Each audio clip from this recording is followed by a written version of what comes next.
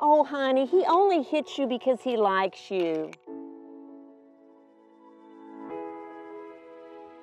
It's time we all come together to say, I care, that one in three women will be abused.